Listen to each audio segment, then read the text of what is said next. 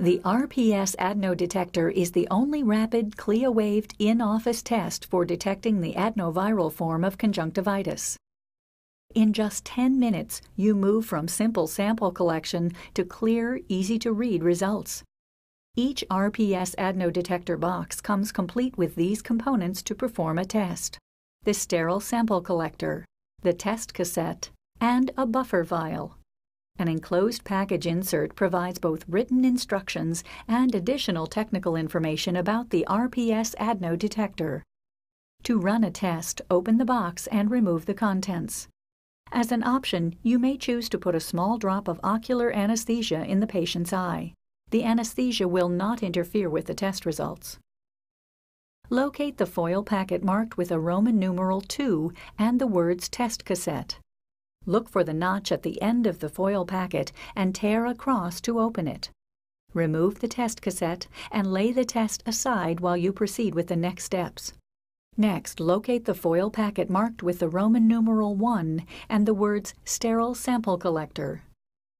Open this packet, being careful not to touch the sterile sample collection pad. This pad should appear to be a very light yellow color.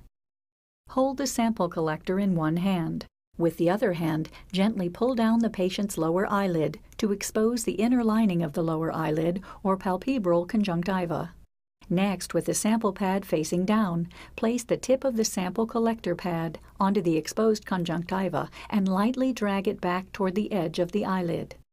Repeat this action six to eight times along the entire length of the eyelid. It is important to perform this motion in different locations. On the last dab, hold the sample collector in place for 3 seconds.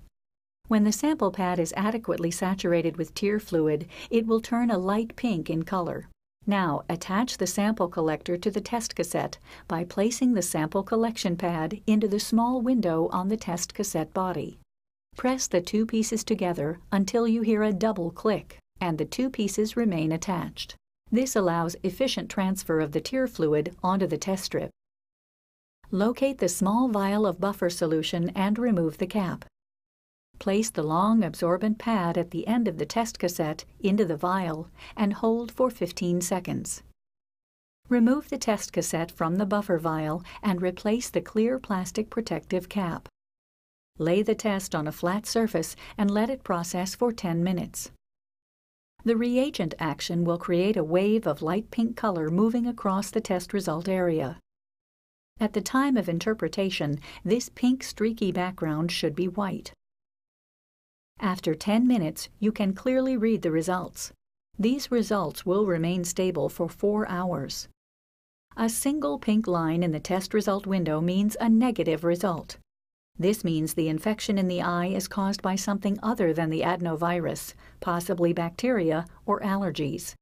You should treat the patient accordingly. If you see two pink lines or any portion of two pink lines, the test result is positive. Even a faint visible second pink line should be interpreted as positive. This means the patient has conjunctivitis caused by the adenovirus. Remember, antibiotics are ineffective against viral forms of conjunctivitis. That's all there is to getting quick, accurate results using the RPS adeno detector.